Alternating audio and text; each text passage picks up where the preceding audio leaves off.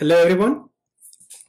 Welcome to this talk on Gateway API, a new set of Kubernetes APIs for advanced routing. I'm Harry Bagdi. I'm a software engineer at Kong. And with me today, I have Rob Scott, who is a software engineer at Google. We have been working on this new API for a while and want to take some time today to introduce you to the API and demonstrate some use cases that it enables for the problems that you might be facing. Uh, before we get started, I want to mention that uh, this API is the result of a community-wide effort within the SIG network API group in Kubernetes. And this wouldn't have been possible without uh, contributions from know, all the members uh, in that group. Uh, now to set some expectation, we're going to get a little bit of, give a little bit of background and then give some quick examples of the API, which should give you a good feel of how this API looks like. And as we go through this, through these examples, uh, we'll explain some key concepts and how why the API was designed the way it is. And then we have some cool demos to show some existing implementations of this API. And, that, and then we, we conclude with some roadmap and future that is for this API. Uh, please feel free to ask questions uh, during this entire talk. So Ingress API has been around for a long time and has seen a lot of adoption with over 15 implementations of the API. But Ingress was really aimed for simple use cases. The time, users have expressed the need for more complicated and advanced use cases. And this has resulted in a wide variety of annotations to extend the ingress resource. Now while these annotations do get the job done, they result in a very poor user experience. As you know, annotations are free for, from strings. So users have no validation, uh, there's no consistency between features of different implementations, and so on. At the same time, we have the service resource, which is seeing almost the similar problems as ingress resource. It too is getting a lot of custom annotations and it is now becoming bloated with features uh, which concern different areas of Kubernetes. Uh, one such area is load balancing and it's been getting a lot of load balancing features. The resource has become uh, complicated enough that it's now proving to be a little difficult to manage and evolve as we go on. So these problems have existed for a while uh, um, and then at KubeCon San Diego in 2019, we came together and an idea started floating around on how a new API could be used to solve these problems. Now with that background, we're going to present a simple example to get a feel of the API.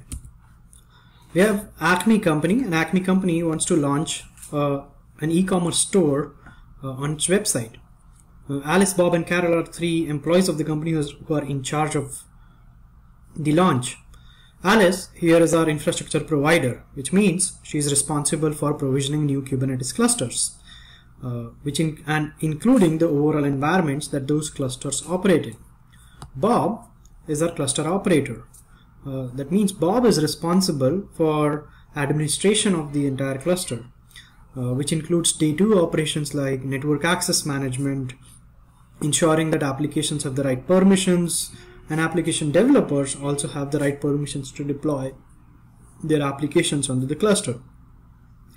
Carol uh, is finally our application developer who is going to use the cluster that's been set up by Alice and Bob to deploy her application, which means she is responsible for application as well as routing configuration.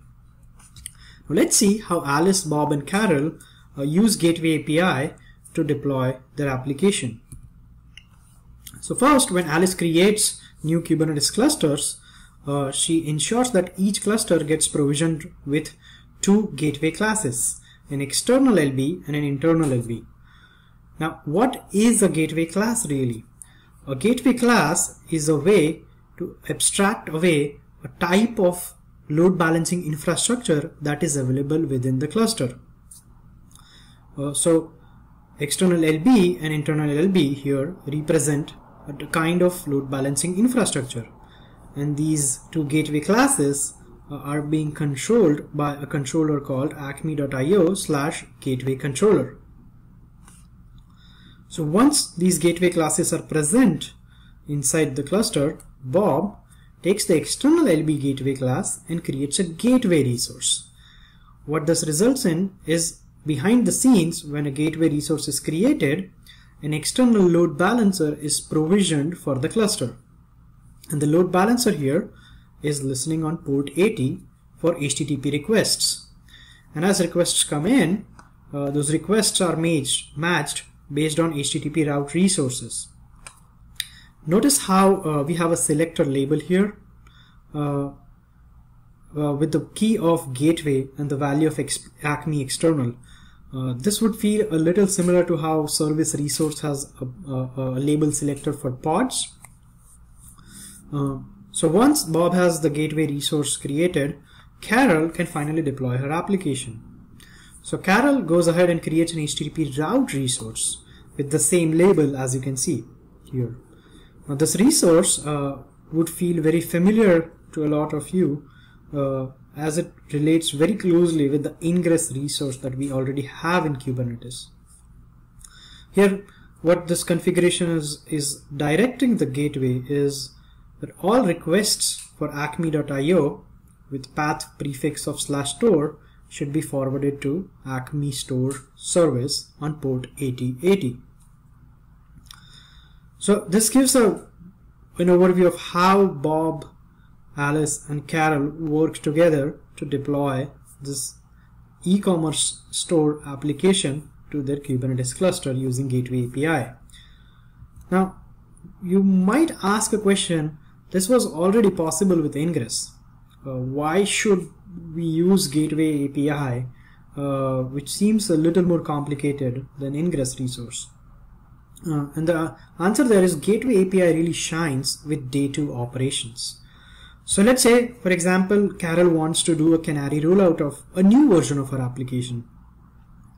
So in this case, uh, she'll add a new forwarding target uh, and forward uh, one in every 10 requests, so about 10% of the traffic to Acme Store Canary application. Now as she gains confidence in the new version of the application, more traffic can be shifted from the old version to the new version and ultimately all the traffic will be served by the new version of the app. Notice how she can do this without interacting with any of the gateway or class admins. Now at the same time imagine that Bob wants to test out a new load balancer that their provider has exposed to them. So here Bob goes ahead and creates another gateway resource with a new gateway class. And notice how the listener sections here for the old and the new gateway are exactly similar. So with this configuration, all the existing HTTP route resources uh, are associated now with two different uh, gateway resources.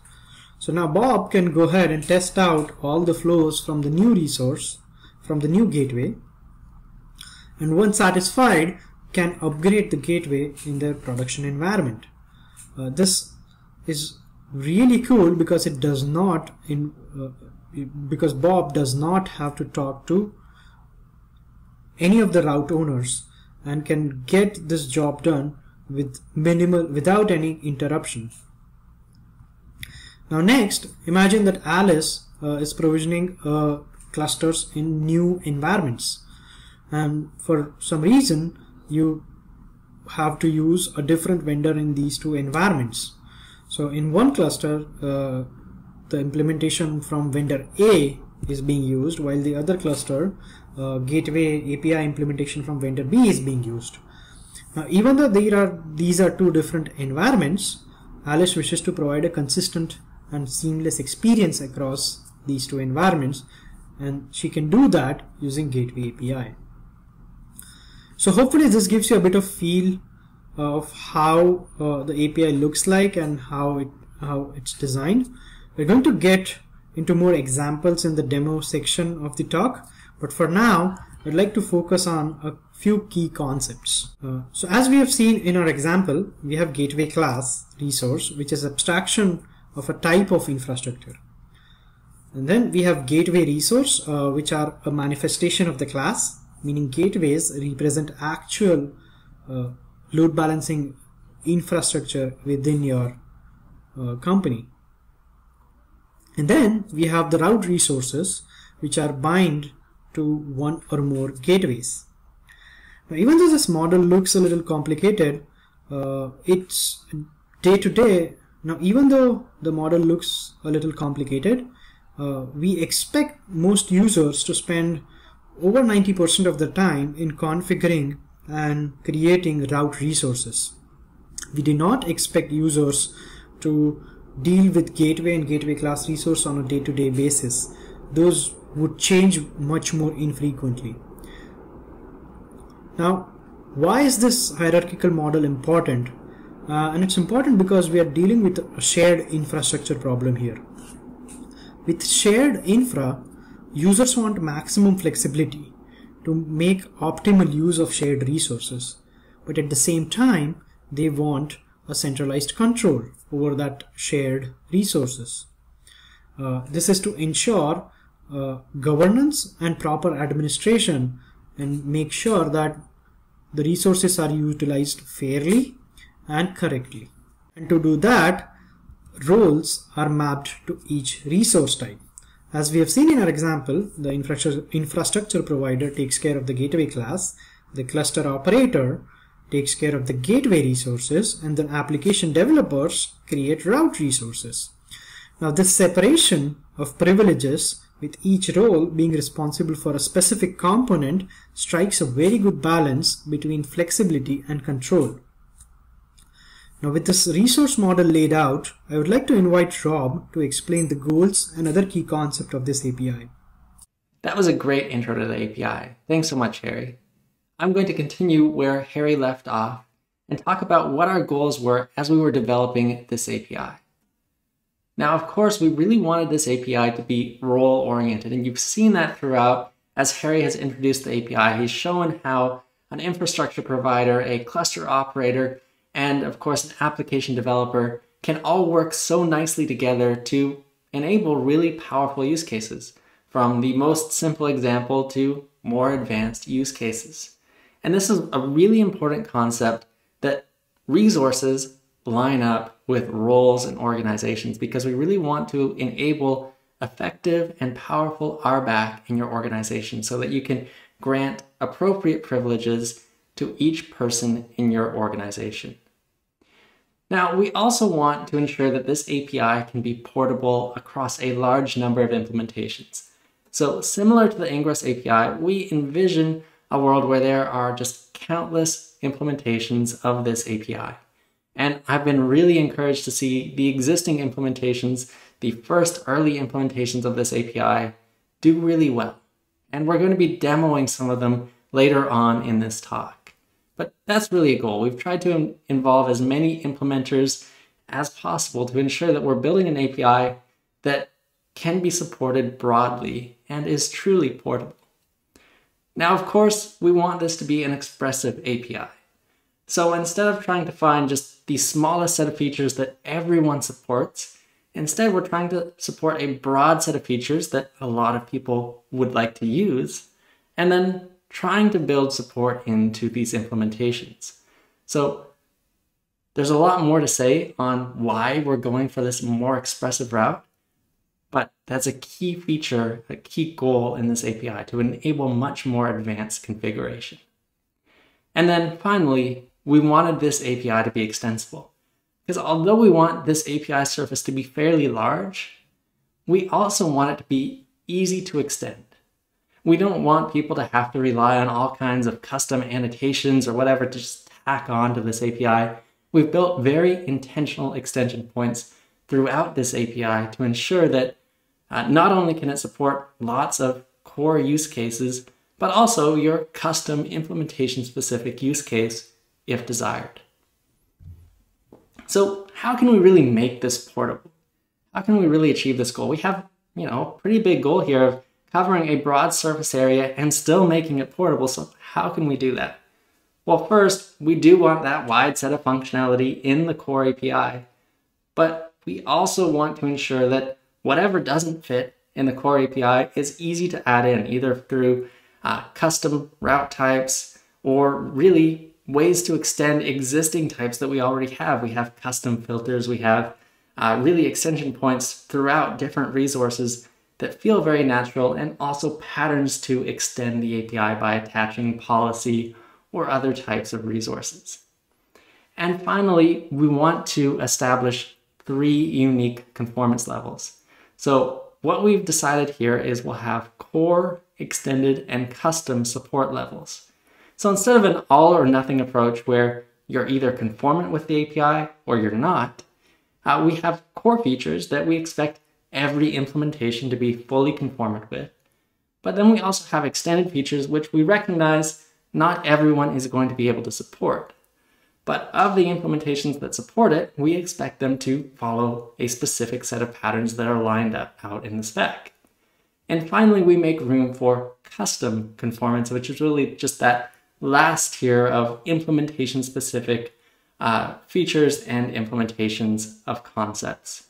So this allows us to have a pretty broad surface of what can be configured in the API, while also ensuring that a large chunk of the API is truly portable.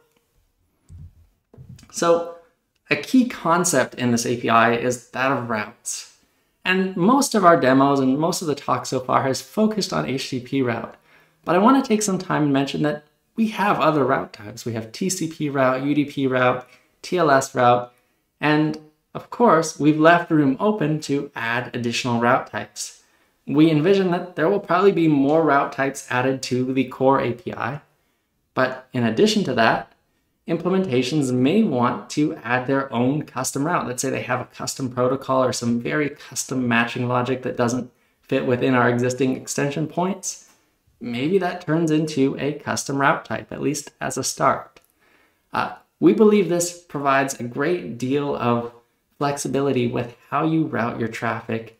And I think, you know, a large portion of users are going to be able to configure their traffic with the core route types we already support.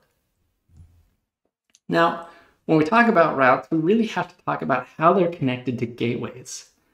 And the key thing to remember is it's a two-way handshake between gateways and routes.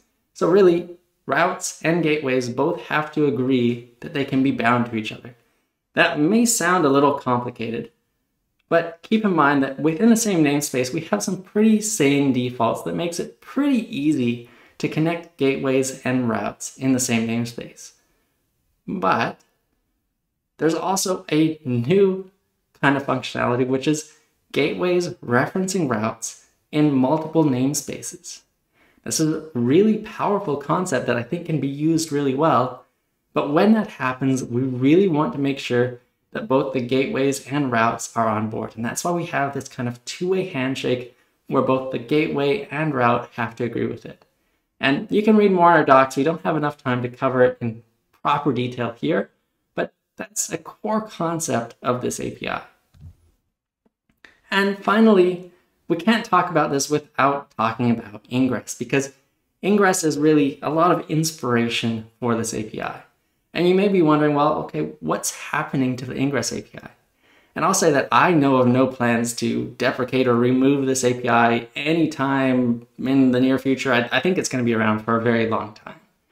Uh, where possible, we're trying to port uh, concepts back to Ingress. So as an example, there are tiny little tweaks we've made to the Ingress API to help keep it consistent and up to date with the Gateway API. But I should say that a lot of the new functionality we're adding, although it fits very naturally inside the Gateway API, it doesn't really fit well inside the Ingress API. So the intent is still to keep the Ingress API very simple and straightforward. And the Gateway API will be the home of more advanced routing features, functionality, and all this new effort. So Ingress is still there. And if you like using Ingress, if it's ser serving your use case as well, that's great. But Gateway is going to enable a lot more functionality, and I'm excited what it, about what it can offer. All right, we've made it to my favorite section of this talk, and that's the demos. I get to highlight some of the great implementations that already support Gateway API. And to get started, we're going to use Contour. And in this case, we're just going to use a very simple example that looks very similar to what we already showcased earlier. In this case, uh, we've got a Acme Contour Gateway and a Acme Store HTTP route that we're going to use to publish the Acme Store. So this will look familiar, but we have a very basic gateway. It's listening on port 80 and it supports HTTP routes and it will match or bind to any route that has the label Gateway Acme External. So now our route obviously has that label, and then you can see it's matching requests to acme.io with the path store, and it will forward those requests onto the Acme Store service. Okay, so let's see how this works in practice. First, we want to apply the YAML we showed on the previous slides for gateway and route. And once those are installed, we want to go ahead and check for our external IP for contour. In this case, that starts with 35188. We can use that to make some simple curl requests. But first we want to get a quick overview of the service, Acme Store, and the pods that will actually be routing to. Now when we do a simple curl request against that IP address, you can see the pod name is one of those Acme Store pods, so it's getting routed correctly. The reason we know this is all the containers through all our demos are going to be using a where-am-I image that prints out all this useful information for us when we make a request. And of course, if we do a few more requests, you're going to see that our requests get routed to different pods each time, just as you'd expect. Our second demo is really just an extension of the first one. And in this case, we're going to add a gateway with Istio. Now this is admittedly a really simple demo. We take the existing configuration we already had in the first demo, and we just add an, a new Istio gateway. And you may look at this and say, well, yeah, this is really simple. And that's by design. You can imagine this has really cool implications when you're starting to talk about day two operations. You've had gateways running for a long time and you want to test an update. You want to test new configuration or a new implementation or just a different vendor altogether, whatever it happens to be, uh, you can just spin up a new gateway, send traffic to it, and see what happens. Uh, alongside your existing gateway that's continuing to serve all your production traffic without issue. You can reuse all your routes. You don't need to reconfigure anything below the stack. It just works. You can just add a new gateway. So you can imagine if you're trying to do seamless replacement for gateways, smooth upgrades, whatever it happens to be, this is a really powerful concept. But also, I think this shows just how powerful the portability component of this API is. So we're going to take a new gateway, and this is going to be really identical to the gateway we showed for Contour, but instead, we're going to use the Istio gateway class. Okay, let's test this out. First, we need to apply the Istio gateway that we showed on the previous slide. And now we want to get an external IP for Istio so we can send some sample requests. In this case, that starts with 34122. We'll send a quick curl request, and you can see that we're getting served responses from the same Acme Store pods as before. We can curl a couple more times, and again, the same pods are responding. All right, in our third demo, we're going to use Traefik to show how route header matching works. So this example may look familiar to you. Uh, we're going to do canary traffic splitting, but instead of before where we did percentage-based traffic splitting, we're going to do something like a little bit differently. We're going to say any request that has a specific header should go to our canary service, and everything else should go to our stable service. Okay, so in that case, our gateway looks very similar, but for this demo, we're, we're using Traefik, so create a new gateway, and we use the Traefik gateway class. And with that, uh, we're going to use an HTTP route that is just a little bit more complicated. In this case, you can see our first rule says match any request that has header serve equals canary and send it to our Acme Canary service and every other request by default should still go to the Acme stable service. That's all there is to it. So to start, we're going to apply the gateway and route YAML from the previous two slides. With those in place, we can get an external IP for Traefik. In this case, that starts with 34123. we'll use that IP to make a couple sample requests. First, a request that specifies that header, serve equals canary. And you can see we're getting a response from the Acme Canary pod. If we make the same request again, but without that header specified, we'll get a response from the Acme stable pod. So Traefik is routing our requests exactly as we hoped it would. And finally, my favorite demo is a way we can combine two new APIs to work really well together. So, of course, SIG Network has been hard at work on Gateway API, and we're demoing that here. But I wanted to bring in some work by SIG Multicluster as they've been working on multi-cluster services. And we can combine those both on GKE and show just how powerful the combination can be. So if you look at this diagram, you're going to say, well, this looks like almost an exact copy of the example we just showed. And you're right, it's very similar. This is still traffic splitting, but the difference is that we have three different clusters involved here. So we have a cluster one, which is includes store C1 as a service. We have cluster two, which includes store C2 as a service. And then we have a config cluster, which has a gateway and a route that's targeting both of these services. Okay, that seems pretty neat and simple, but of course it's not quite as simple to make that cross namespace reference. Instead, we need some help from the multi-cluster services API. So for that, we add this concept of a service export. And a service export is actually really simple. It just, just create this tiny service export resource right alongside your service and you say, I want to export this service to the rest of my connected clusters. That's all there is to it. And then those service import resources you see are automatically created and they represent services that can be reachable in other clusters. So in this case, we'd actually have service import resources in all our clusters, but I've only highlighted the ones that we're actually using right now. So to illustrate that, let's look at what these actually will look like. So first, we have a service export. That's the only thing we have to create. And that says, take my store C2 service and export it to the other clusters I'm connected to. And then automatically you get service import resources created in those other clusters. And that's what we can target with our HTTP route.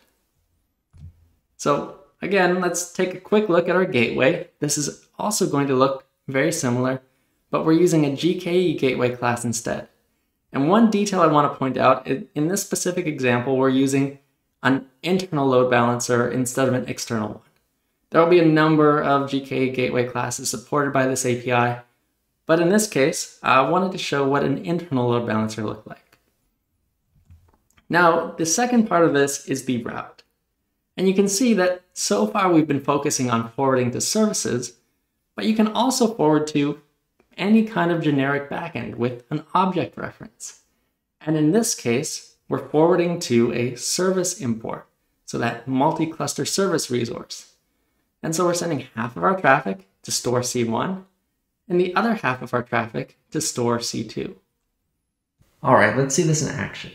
We'll apply the gateway and route YAML that we saw in the previous two slides, and then we'll get the IP address associated with the gateway we just created.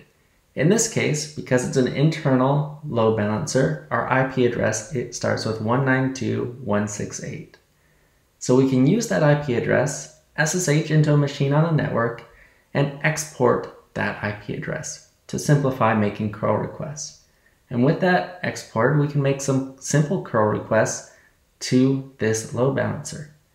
And what we're seeing here is our traffic is not only going between different pods, it's going between different clusters.